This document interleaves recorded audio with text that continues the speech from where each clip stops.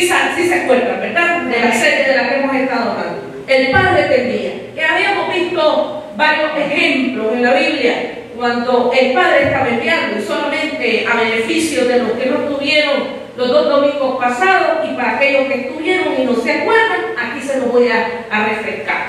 Eh, hablamos en el, cuando entramos a la- al primer, al, el primer domingo de la serie esta del Padre envía, estábamos viendo cuando el Señor envió a Moisés.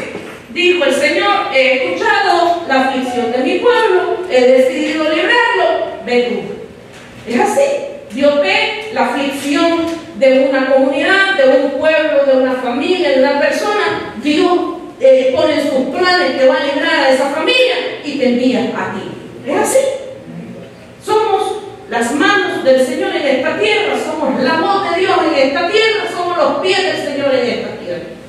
El Señor dijo a Moisés, he escuchado el clamor de mi pueblo y ¿sabes qué? Lo van a sacar de esta tierra, de la tierra de, de Egipto y lo van a llevar a una tierra que está ocupada por el cananeo, el fereceo, el hitite, el amorreo, el jebuseo. Hay seis, siete naciones ocupando esa tierra. Pero Dios le, le dio por señal a Moisés. ¿Sabes cuál va a ser la señal? Que vas a ir y vas a volver y en este mismo monte donde estamos hablando, aquí me van a adorar todo el pueblo. Le estaba dando la, la 100% garantizado que Moisés volvería. Estamos de acuerdo. Eso fue lo que hablamos el domingo. Más o menos para que tengan un resumen, el llamado que le hizo el Señor a Moisés. Hay algunos que toman nota y. Me gusta porque yo de que, ¿cuántos saben que los que escuchan, eh, hay una estadística, las personas que escuchan y no toman nota eh, tienden a olvidar más rápidamente que aquellos que sí toman nota y luego están viendo en sus notas para volver otra vez a ver qué fue lo que se predicó. Yo sé que otros eh, me consta de que luego van a, a- Facebook donde quedan la- las prédicas y ahí se ponen a escucharlas todas, ¿verdad? Eh, gracias por la honra, muchas gracias. Bueno, entonces eh, habíamos hablado de esa, de- del llamado de Moisés, y eso fue el primer domingo de la serie. Ya para el segundo domingo, miramos cuando Israel, Jacob, envió a José a su hermano. Literalmente dice en Génesis 37, no lo busquen.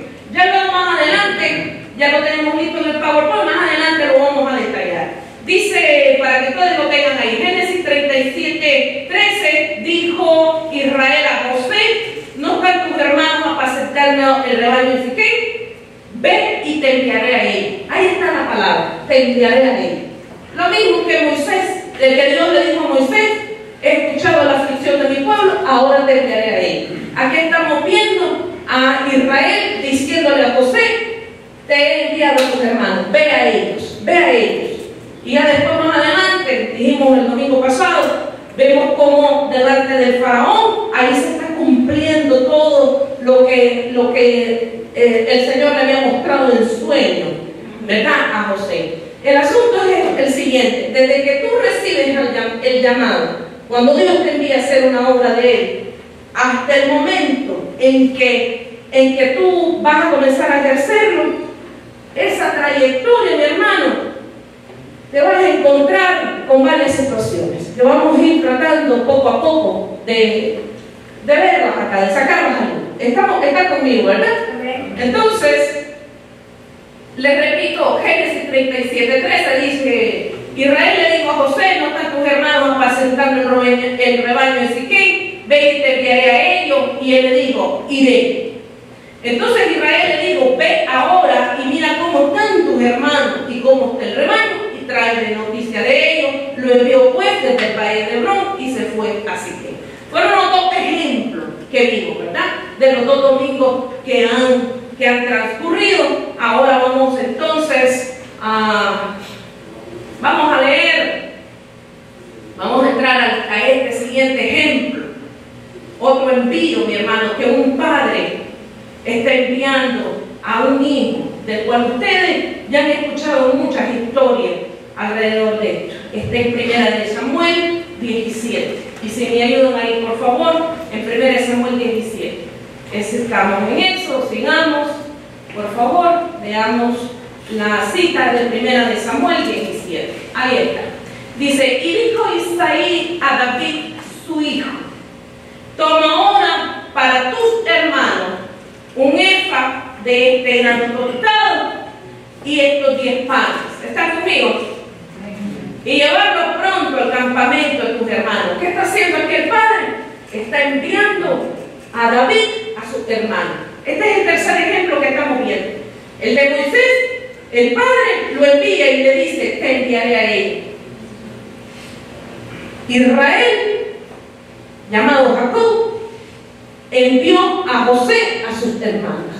Ahora estamos viendo acá cómo Isaí, para quienes no sabían, Isaí es el nombre de, David, el que llegó a ser rey. Isaí, no Isaías, Isaí es el nombre del padre del rey David. Está enviándolos precisamente a sus hermanos. Esta serie se llama El Padre te envía.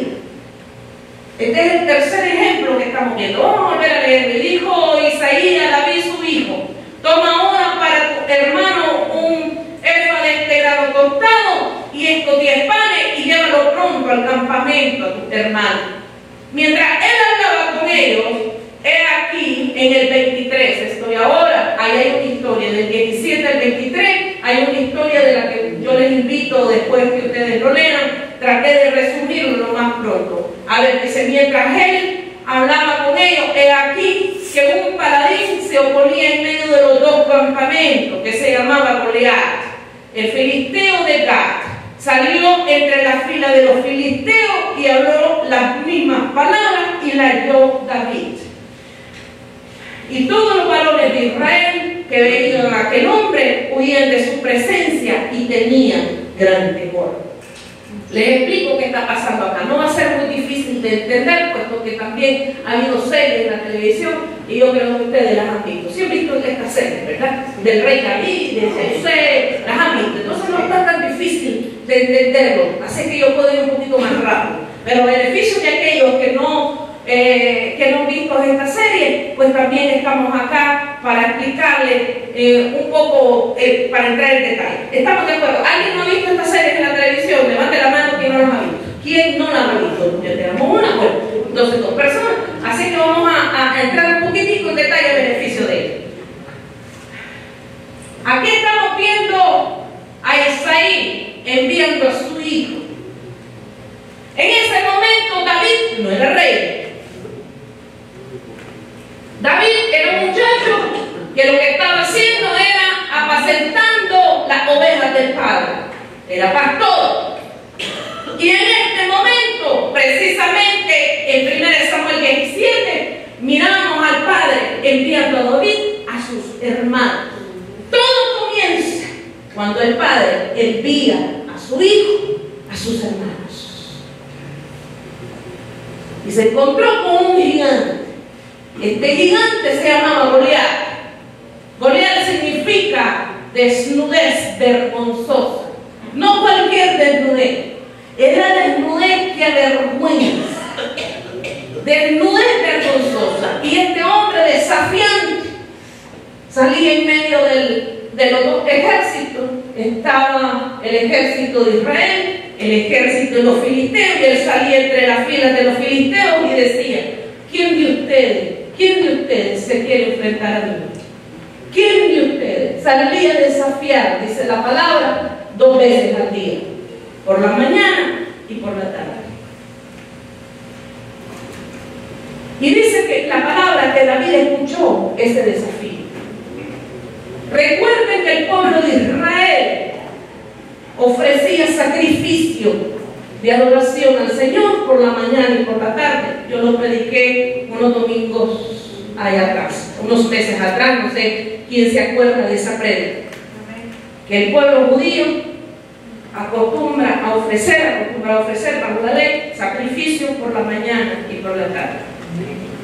A mi manera de ver, cuando este gigante miraba que el pueblo de Israel estaba adorando a Dios, estaba presentando sacrificio, él salía a burlarse de él, a querer avergonzar al ejército de Jehová, el ejército del Señor, al pueblo de Dios.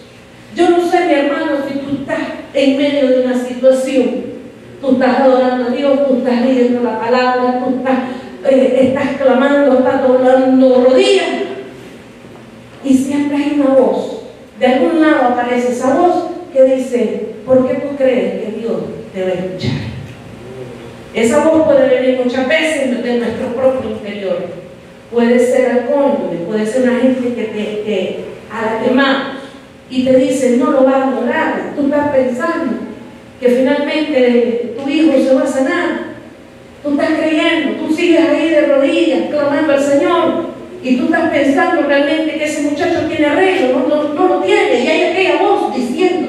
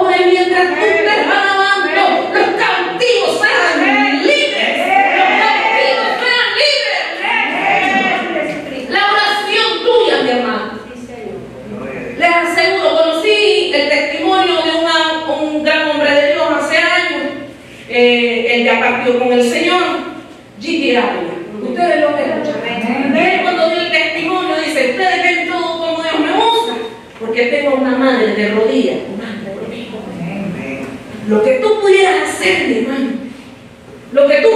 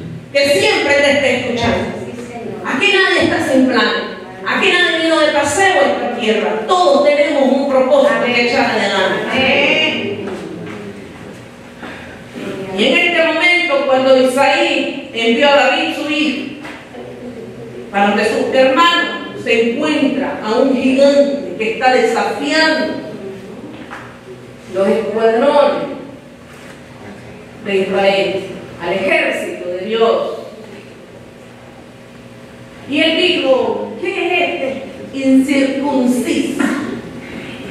¿Qué es este incircunciso que desafía al ejército de Jehová? El rey Saúl había dicho, el ejército de Israel. David vio una nueva dimensión y dijo, son los escuadrones de Jehová de Dos cosas diferentes. Saúl que era entonces rey, lo estaba viendo en el mundo natural, el ejército del pueblo de Israel. David, cuando escuchó a esa voz del Goliat, de ese gigante que estaba tratando de avergonzar, dijo, no, no, no, no, siempre está que somos de un ejército, somos del ejército de Israel, pero somos el escuadrón de Dios viviente. Somos el escuadrón de Dios viviente. incircunciso. ¿Saben lo que estaba diciendo ahí Israel, en, en David? ¿Quién es este que no dé pacto? Porque la circuncisión era la señal de pacto ¿eh? del pueblo de Israel con el Señor. ¿Quién es este que no tiene pacto? ¿Quién es este que no tiene pacto? ¿Quién es este? la voz que me está hablando? Si tú te dejas guiar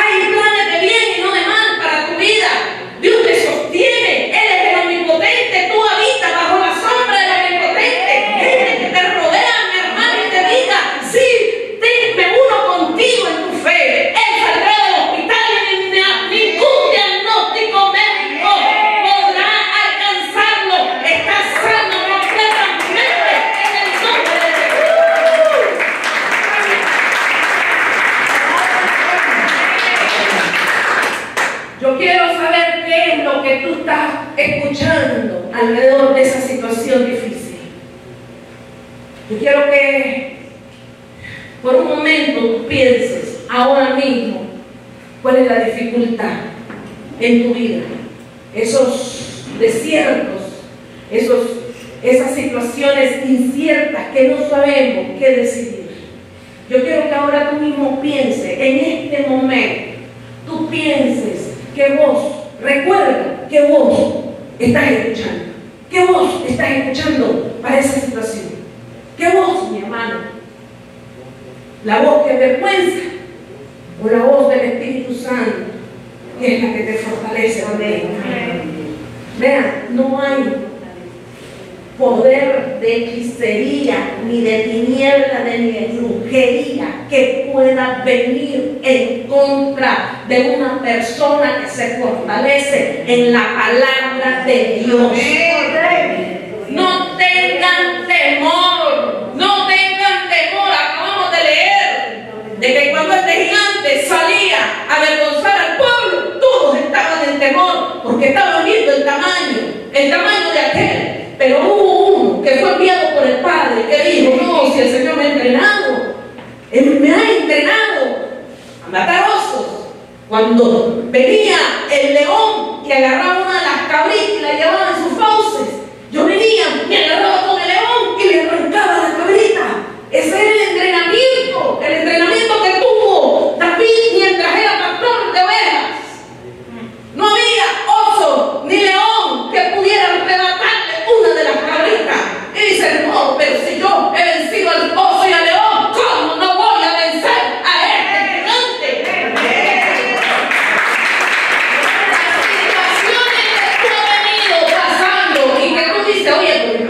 sea, realmente es, porque se me vuelve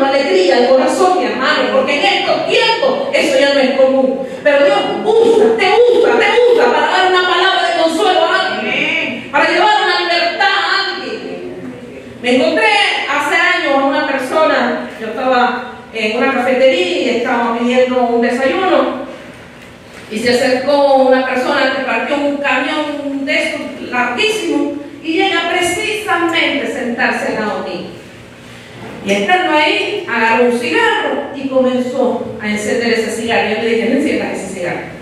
¿Por qué? estorba, me dijo. Él pensaba que era por eso. No, le digo, estoy cuidando. Estoy cuidando tu salud. Ya de ahí me, me miró que no podía creer lo que yo le estaba diciendo. Le digo, mira, te voy a decir algo. Primero, estás quemando tu dinero y segundo, estás perjudicando. Tú viniste aquí a pedir un desayuno, precisamente te sientas al lado mío, porque en esa cafetería donde uno la atiende por la parte de afuera, donde están todos sillas, estas, ¿verdad?, este, seguidas una del otro. Y entonces le digo, te voy a pedir el favor. Y no sé por qué me pongo a llorar en ese momento. Ustedes ya saben por qué. Ustedes saben por qué. Comienza a correr y le digo, no lo hagas. No lo hagas. Te están perjudicando. ¿Sabes qué? No.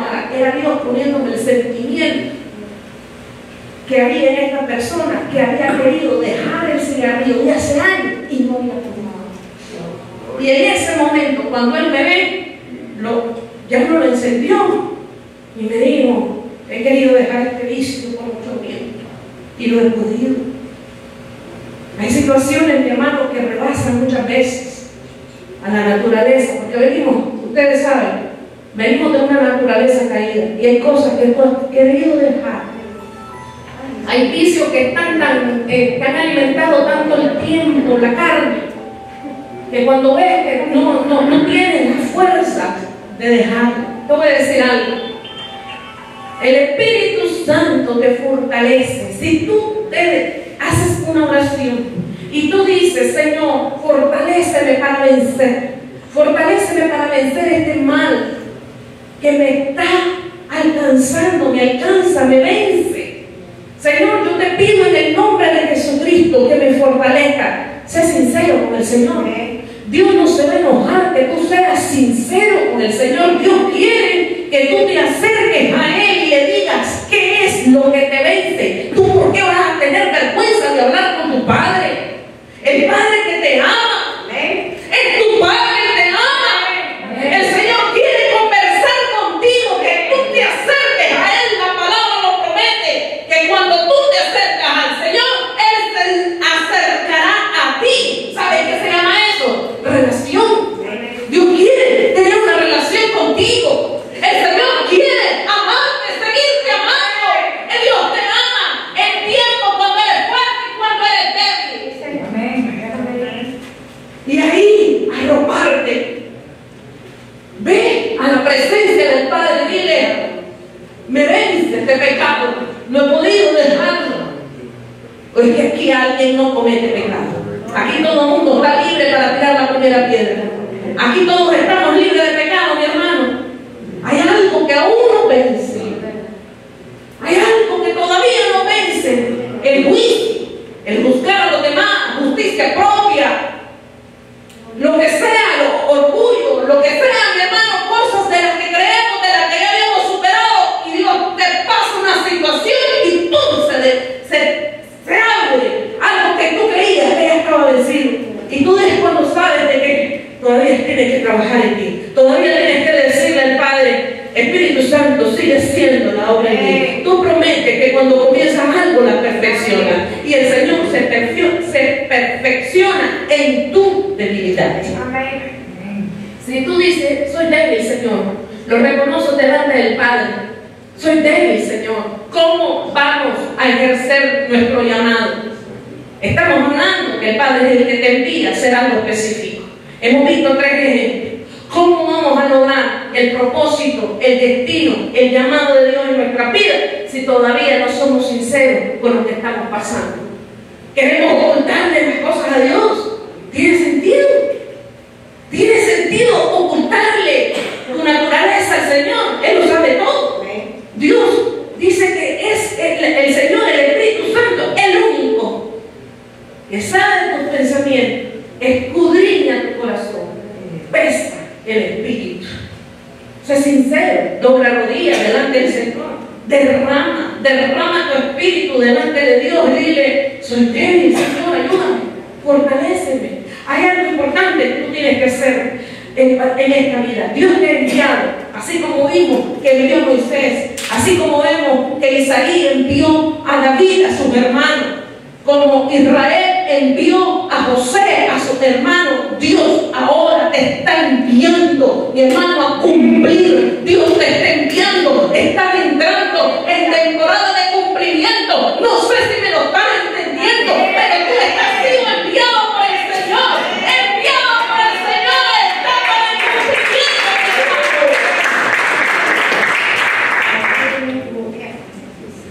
Les voy a hablar uno, de uno que, que fue enviado por el Padre. Voy a pedirles por favor que me ponga en la anterior, en el slide anterior a ese. Casi el. Exactamente. Ahí está. Uno que fue enviado por el Padre. De tal manera amó Dios al mundo que ha dado a su Hijo unigénito para que todo aquel que en él crea no se pierda, mas tenga vida eterna. Porque no envió Dios a su Hijo al mundo para condenar al mundo, sino para que el mundo sea salvo por él. Amén. Estamos viendo que el Padre es el que envía al Hijo. Todos los ejemplos anteriores eran la sombra de esto de acá, para llegar a esto. Es lo que nos sirve de base para decirte que el Padre envió a su Hijo, Jesucristo, a dar la vida por ti. Y tú dices, yo llevo años sabiendo Jesús. Yo lo sé. Yo ya me he entregado y he rendido mi corazón a Jesucristo. Y te felicito que lo reconozcas. Lo que estoy tratando de decirte, mi hermano, que así como el Padre envió a su Hijo para no condenar al mundo, sino para que el mundo sea salvo por él. Al enviarlo a Jesucristo y tú al aceptar al Señor, hay una transferencia de la obra de Cristo dentro de ti. Tú eres enviado también a este mundo, esta ciudad de Monte. Tú eres enviado a tu familia, tú eres enviado por el Padre, no para condenarlos, sino que sean salvos por lo que tú le digas cuando le presentes el Evangelio de amor de Jesucristo. Eres enviado. Eres enviado a cumplir el tu llamado, el llamado, el propósito de Dios dentro de ti. Eres único.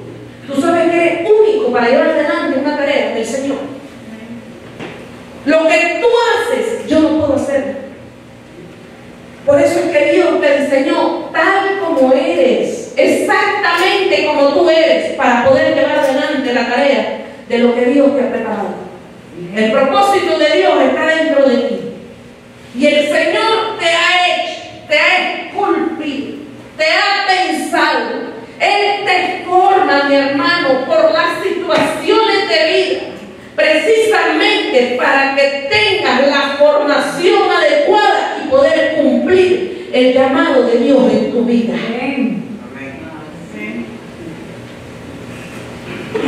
Este, el, el enviar hasta llegar a ejercer el llamado, se presentan jebuseos, se presentan fereceos, se presentan hititas, se presentan amorreos, se presentan dificultades, gigantes, pozos, traiciones. No hay tal forma, mi hermano, que el Señor te llame a hacer algo y para cumplir que tú camines, como dije la otra vez, en un camino lleno de pétalos de rosa. No funciona de esa manera. Hay que dar dedicación, esfuerzo. Tienes que poner dedicación de tu parte, esfuerzo de tu parte. Tú quieres cumplir quieres cumplir, mi hermano, esa pregunta, tú quieres cumplir con lo que Dios ha dicho acerca de ti, porque Dios te está enviando, tú viniste esta mañana para que lleves en tu corazón que Dios te ha enviado a hacer el propósito de Él a través de ti. No es tu propósito personal, no es tu propósito familiar, es el propósito de Dios dentro de ti. Tienes que entender que entre el llamado y el cumplir van a aparecer en muchas situaciones adversas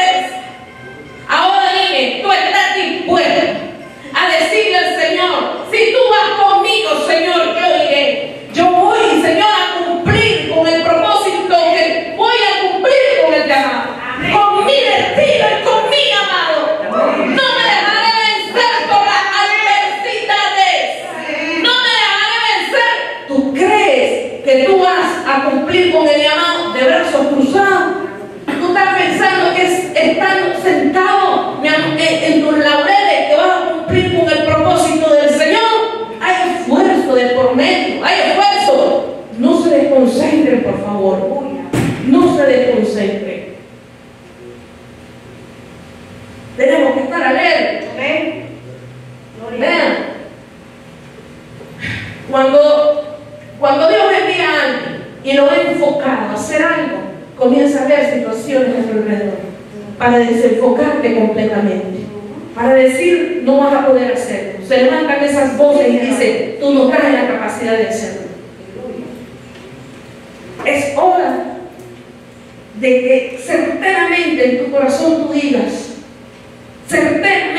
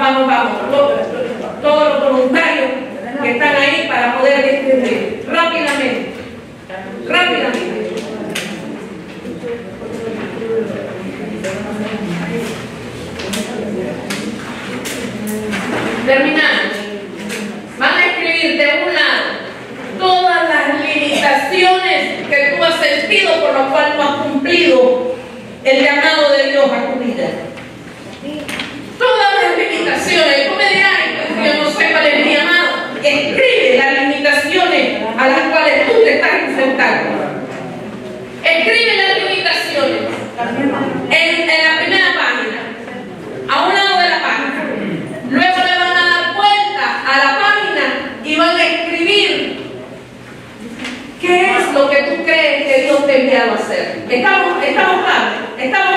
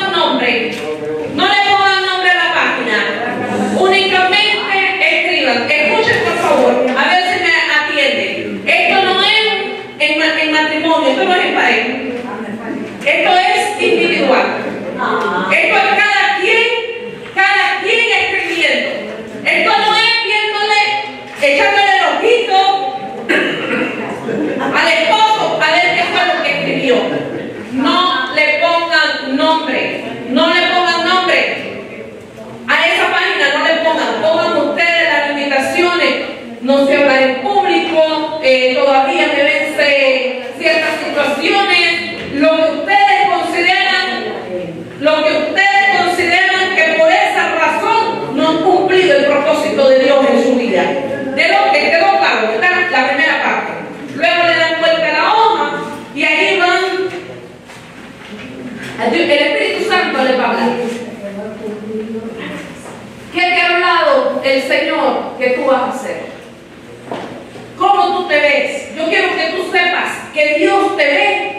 Mi hermano, muy diferente como tú te ves.